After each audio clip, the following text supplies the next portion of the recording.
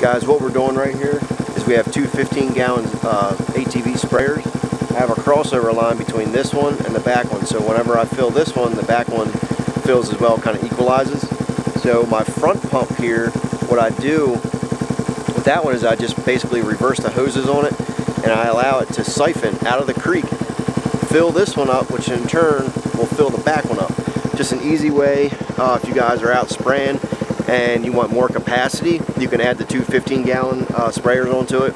And on the back, uh, the back sprayer actually have a bigger pump as well because I have the Boominator nozzle hooked to it, which will give me more pressure and a wider uh, spray angle uh, coming out the back, which will just cover a little bit more area in a quicker amount of time. So if you guys are looking to uh, start spraying with Antler Grow, it's a good, easy, cheap setup. You can buy some CPVC, build a little manifold off the back, you can get a Boominator nozzle, and uh, stuff like that. You know, free water right out the creek. So uh, it's got a little strainer on the end. That way you're not sucking in a bunch of debris and stuff like that. But it doesn't take too long. It fills right up, and uh, just give me 30. Just give me 30 gallons. I can and start spraying and, and get to it. So uh, just a little tip for you guys.